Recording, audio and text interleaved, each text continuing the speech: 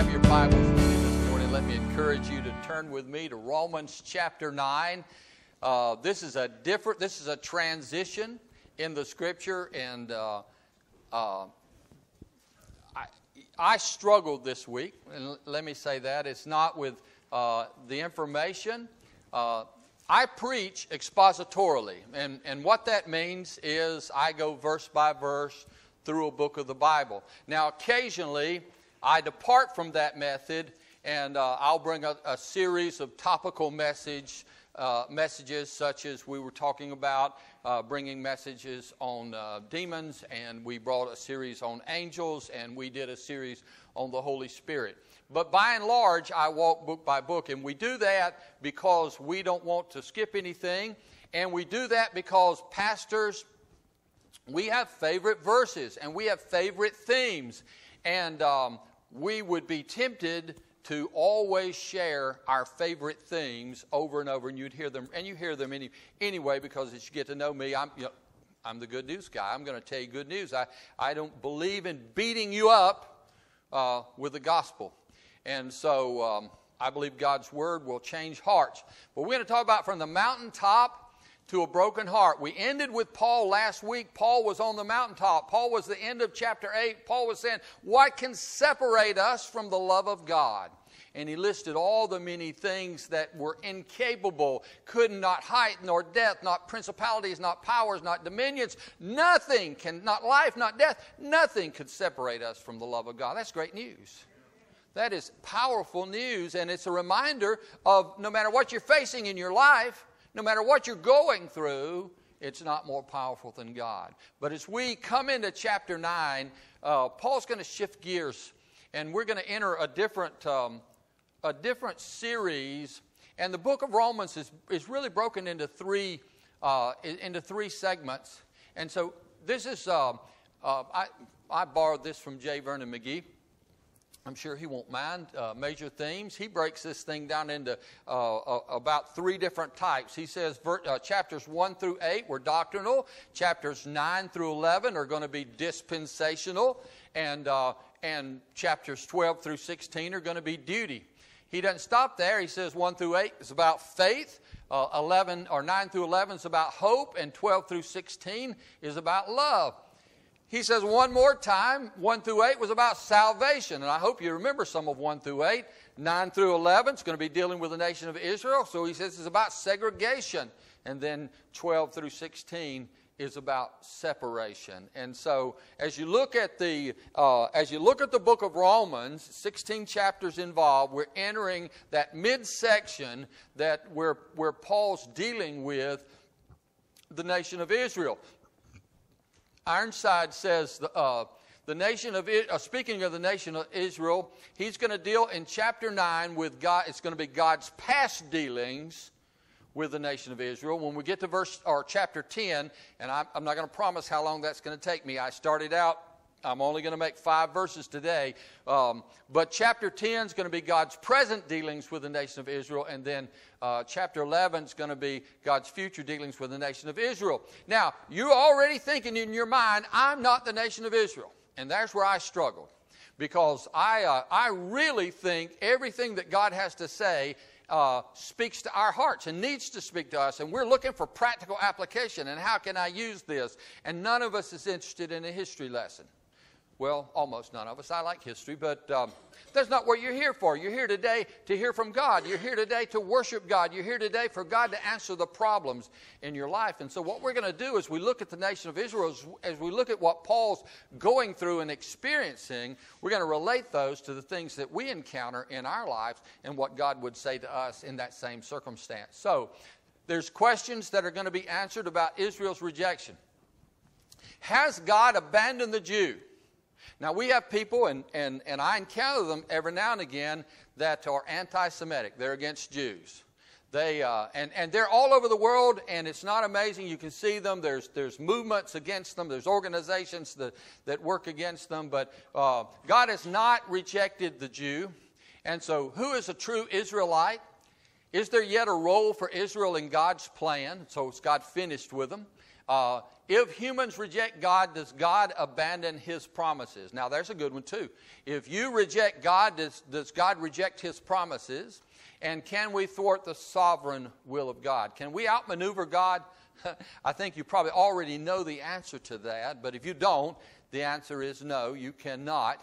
You can't outmaneuver, you can't outguess, you can't be one step ahead of God. So we're going to talk about those things in the coming services as we go. But the first thing, speaking about today, is a joy dampened by sorrow. Paul ended chapter 8 with exuberance about the love of God and all that God had done and all that God's grace was capable of doing. But he enters chapter 9 and he says this I tell you the truth, or I tell the truth in Christ. I'm not lying. My conscience also bearing me witness in the Holy Spirit that I have great sorrow and continual grief in my heart. Now, Paul is expressing a sincere and continual or perpetual sorrow or grief for the nation of Israel. The, Paul is a Jew. Paul said he was a Jew among Jews. Paul was, Paul was a member of the Sanhedrin. Paul was a, was a person whose heart and soul had grown up in the teachings of the law in the nation of Israel. And so he begins with, with saying, Of all the joy that I've got, of all the excitement that I've got, of all the exuberance that's in my heart, I'm never without sorrow when I think about my people, when I think about the nation of Israel. So he has a perpetual sorrow, perpetual grief. He has a personal connection. He said, I could wish that I myself were accursed from Christ for my brethren, my countrymen, according to the flesh. Now, some people have conjectured, was he talking just hypothetically? You know, no, he, he sincerely meant he would trade his life for theirs if they would accept the gospel of Jesus Christ. And have we seen that before? We have. We'll talk about that in just a moment. He had a paternal legacy. Who are Israelites to whom pertain the adoption, the glory, the covenants, the giving of the law, the service of God, and the promises. And so, in these first four verses, Paul is sharing all of the things that the nation of Israel had to their benefit and all of the things that should have brought them to Christ and all of the things that they had neglected. And he's going to, over the next several weeks, as we visit in this, he's going to talk about these in greater detail. But for this morning, I want to talk about the, the, the, the context for us, for you and me. And the last of these was the prophetic reality of whom are the fathers and from whom, according to the flesh, Christ came, who is over all the eternally blessed God. And some people question Does the Bible say that Jesus is God? Yes, it says it right here. Jesus is God. Jesus said, I am that I am. He claimed to be God, and he was God. And Paul was reiterating that he was God. Not only was he God, but he was the Messiah. He was the chosen one. He was the one that the Jews had been waiting for and they had forsaken. So Paul says, I, am tr- I'm perpetually disturbed. I'm perpetually in sorrow and in grief because my people won't accept the Lord Jesus Christ. They won't come to Jesus for their own. And so, as we look at that, there's an identity that could not be surpassed. First of all, in verse Exodus chapter 4 and verse 22, he says of the adoption, Thus says the Lord, Israel is my son, my firstborn. So God literally adopted Israel. Now, that's a theme that you and I can relate to because the Bible tells us that we have been adopted, and, and Paul visited in that in, in chapter 8. We're adopted a wild olive branch grafted in. We've been adopted into the kingdom of God. But Paul says the nation of Israel was adopted by God and called by God to be his son. He said that they had the, the physical presence of God. If you remember in the Old Testament, with many occasions uh, or many occasions, uh, the Spirit of God, as the children were in the wilderness, uh, uh preceded them in a column of fire and a column of smoke and, and the Shekinah glory of God uh, rested upon Moses as he came down uh, from the mount. And, and, and when he would come out of the Holy of Holies, the Shekinah glory rested between the Ark of the Covenant. And so the children of Israel had that, that divine presence, the glory of God in their midst. They had the covenants. All of the, uh, the, you know, he said, a new covenant I've given to you. All of the prom- all of the covenants of the scripture were for the nation of Israel. And Paul is saying, look, here's all of the things that God did for you. Here are all of the things that God laid out for you. And how is it that you can forsake him? They had the law, and in Galatians, Paul tells us that the law was a tutor. It was designed to point out the holiness of God and the righteousness of God. It was to show us that we would never be good enough to make it to heaven that we needed a sacrifice, and Jesus Christ would be that eternal sacrifice. He said they had the service of God. God called and appointed priests in the tabernacle and in the temple and, and, and set out the tribe of Levi to, to serve and to give uh, the offerings for Christ and to give the sacrifices for Christ perpetually. Paul, uh, I mean, Christ set up, or God set up for the nation of Israel a, a clearly demonstrated illustration of his power and his, and his presence. They had all of the promises. God, Abraham, I'll, I'll give you the seed. There'll be more countless than the sand. There'll be more countless than the stars in heaven. Every, you will be, you will be my people.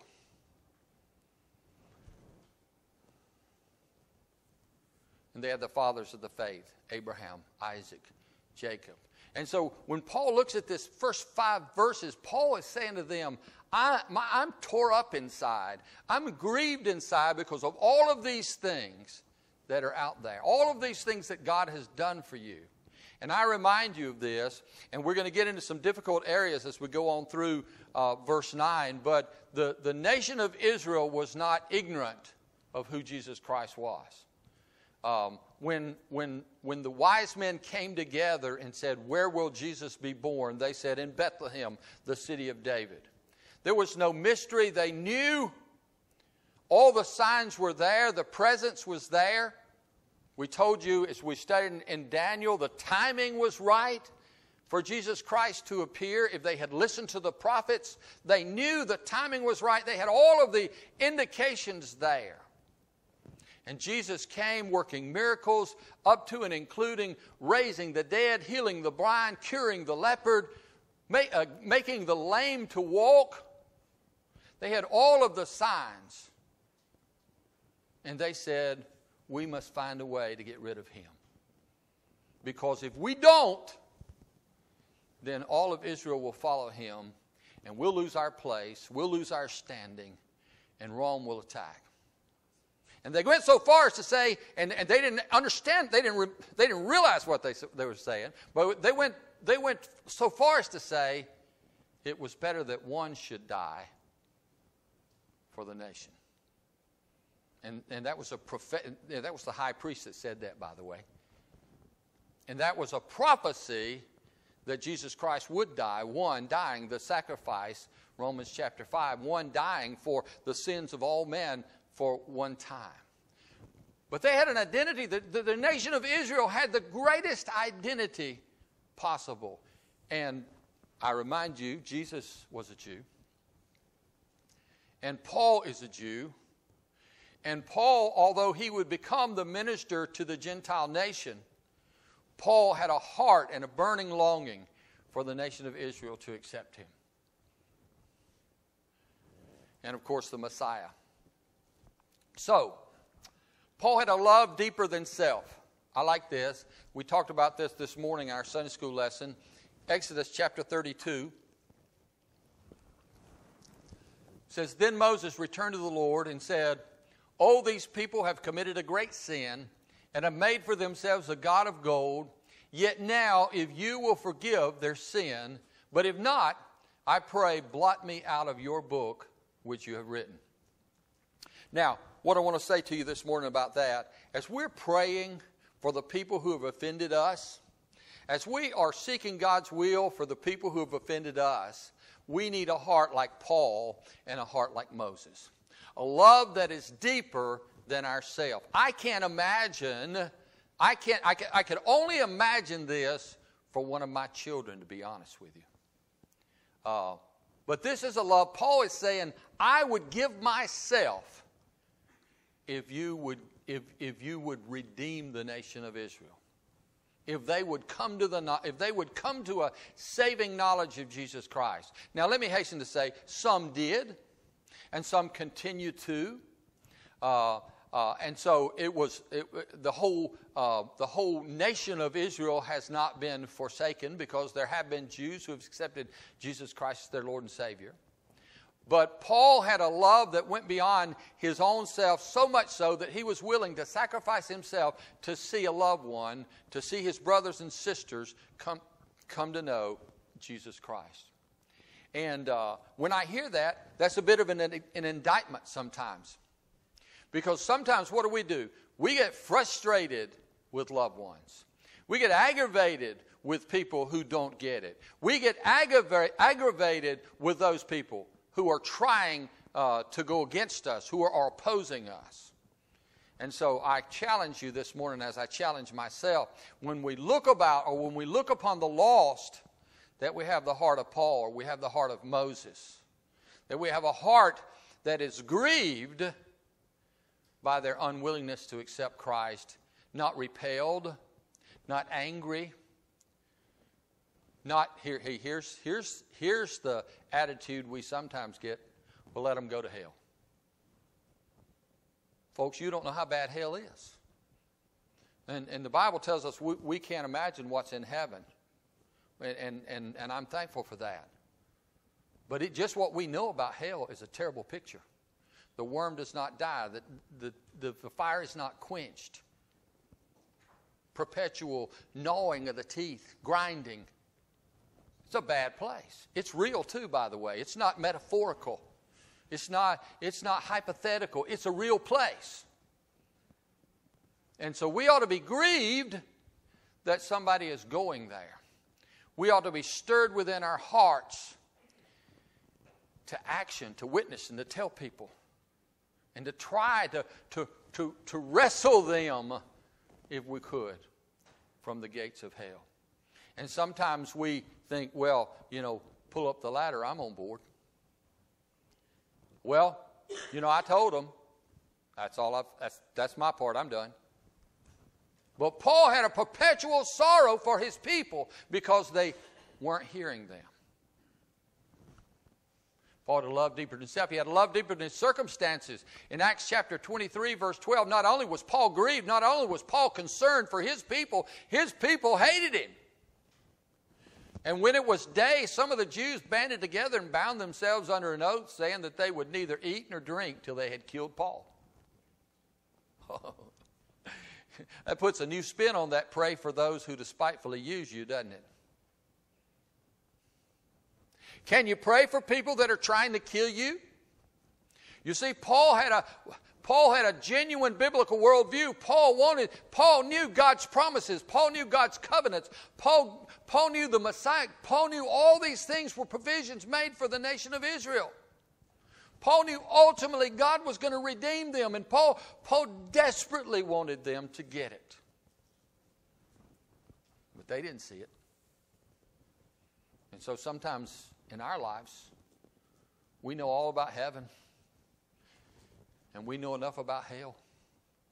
And we want our loved ones to miss it, but our loved ones don't want to hear it. And maybe they get angry with you, and maybe they yell at you, maybe they, maybe they tell you, hey, don't, don't bring that to my house. I don't want to hear it. I don't want to hear about your Jesus anymore. Well, I want, I want, you to, I want you to reflect upon Paul's heart again. He had a love deeper than himself, and he had a love deeper than his circumstances. He knew, he knew that they hated him, yet it didn't stop his love for them. It didn't stop his desire. I, don't, I believe Paul went to his grave grieving the nation of Israel and hoping and, and longing for their redemption.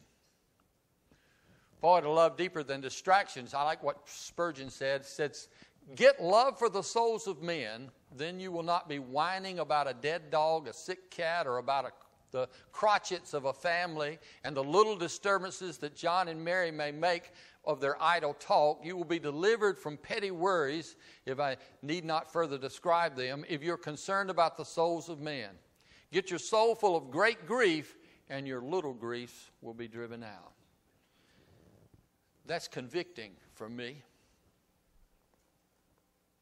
That's the challenge. Paul reminds us that we're not burdened enough in our day and age for the lost. We need, we need to recognize that God died for everybody. And just as Paul recognized that God, the Messiah, came for the nation of Israel, he was the promise, he was the climax of the promises, he was, he was the epitome of what they had hoped for, and they missed it. And we need to have that same burning uh, passion to tell the lost about Jesus Christ.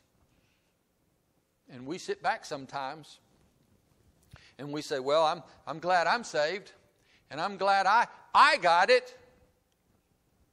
And I wish old Bill or Mary or Tom or Sue or John or whoever, I wish they would get it. But if they don't, well, feel sorry for them. Well, are you praying for them? Are you grieved for them? Are you mourning for them? Are you fasting for them?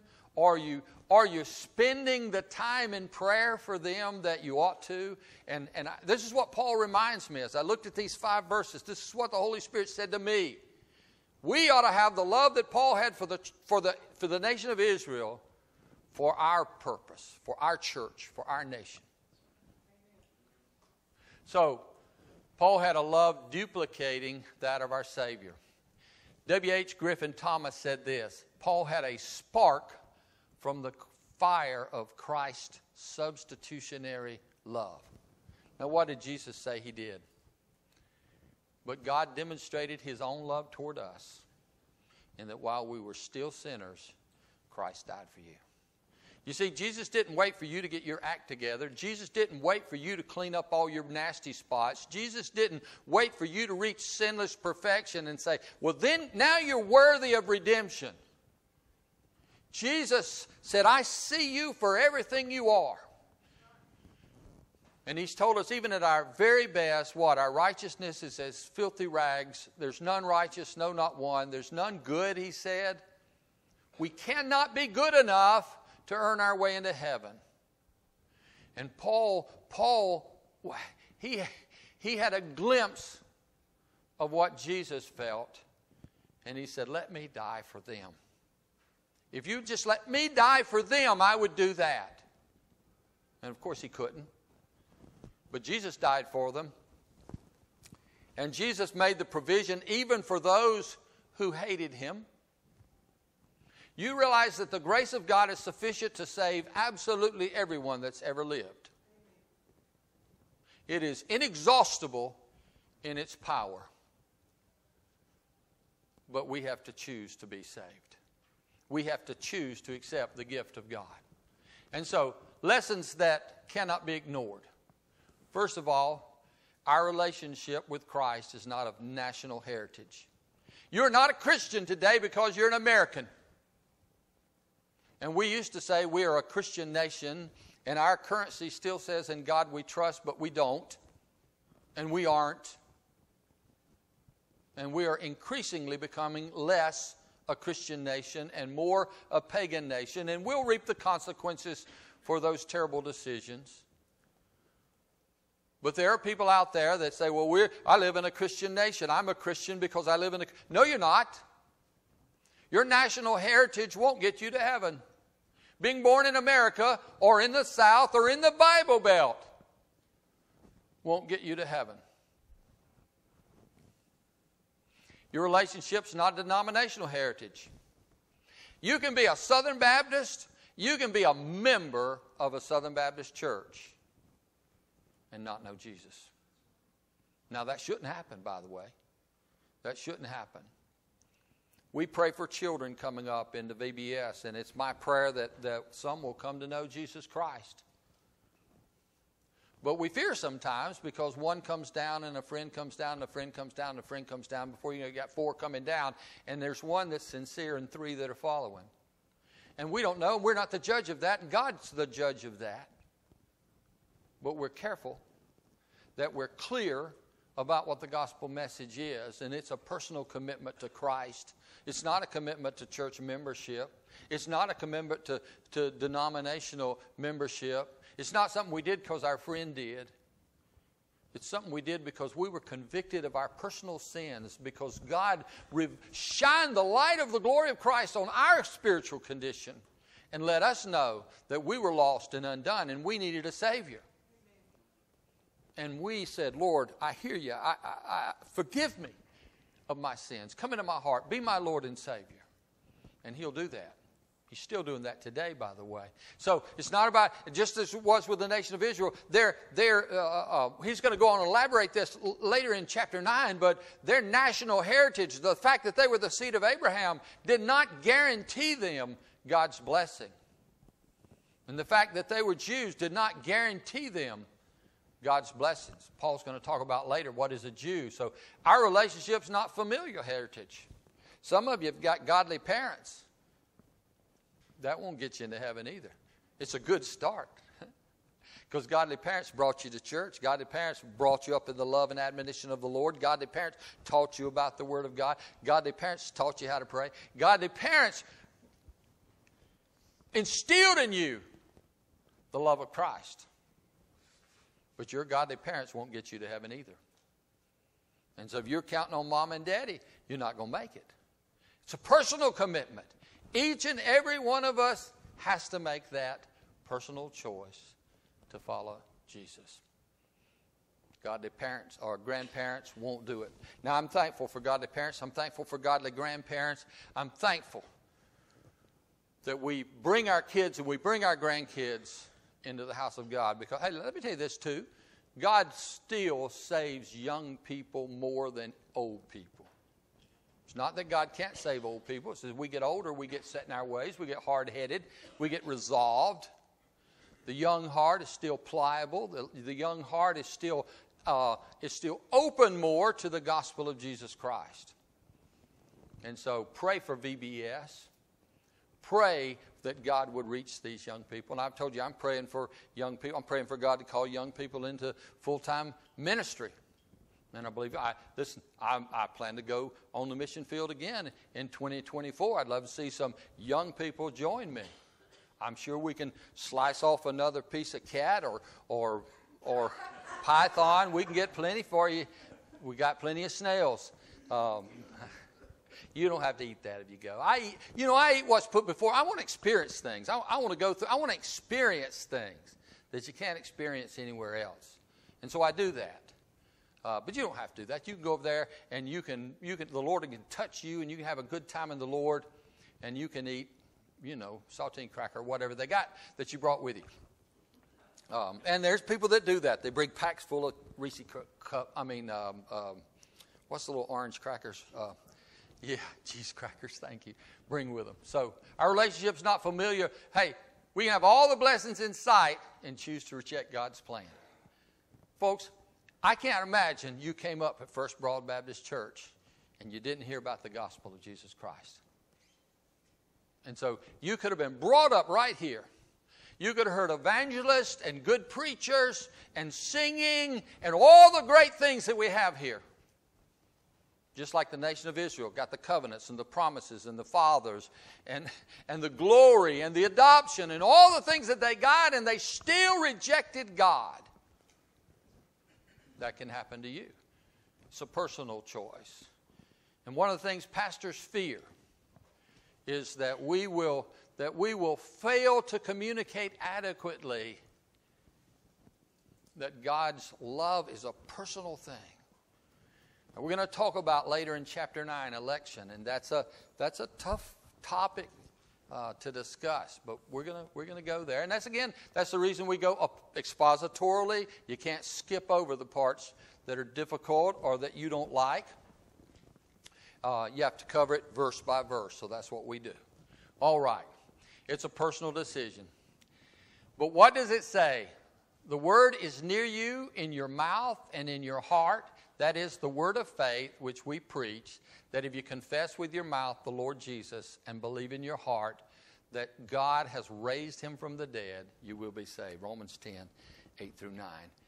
This is, uh, this is our invitation. This is uh, my testimony that God is making this personal to you. This is, this is Paul's testimony that this is a personal decision. If you will believe in your heart, if you will confess with your lips, you shall be saved. I can't be saved for you. I can't be baptized for you, as some church teaches. I, I, I can't do I can I can tell you about God all day long, but I can't save you. Only God can.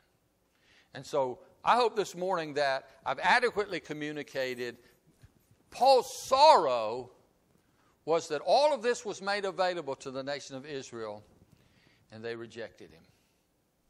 And a pastor's sorrow is that all of this is made available to us. And do we miss it? And, and, and do we neglect it? Or do we take it for granted? And so I would say to you this morning, as our musicians come for our invitation, I, I, I don't know what God's doing in your personal life. I don't know what God's challenging you to do. I don't know where you are in your relationship with God, but God knows. And if you're here today and you don't know Jesus as your personal Savior, then listen, don't. Don't wait. We don't have any promise of tomorrow or even today. People slip out into eternity without any warning whatsoever. Today is the day of salvation if you're here today and you're saved, you don't doubt that you're saved whatsoever, but, but you've not had a genuine burden for the lost. Not even your own family. I mean, you, you prayed for them, but you haven't fasted, you haven't mourned, you haven't, you haven't grieved. Then maybe you need to do that for someone that you love. Maybe it's somebody who's offended you. They've been angry. They've been mean to you. They, have they've mistreated you. Maybe God's calling on you. It's time for reconciliation. It's time, it's time for you to love them. It's time for you to demonstrate the love of God as only you can. Have the grief of Paul, the grief of Moses, and let the Lord do a work in your life. That's our prayer.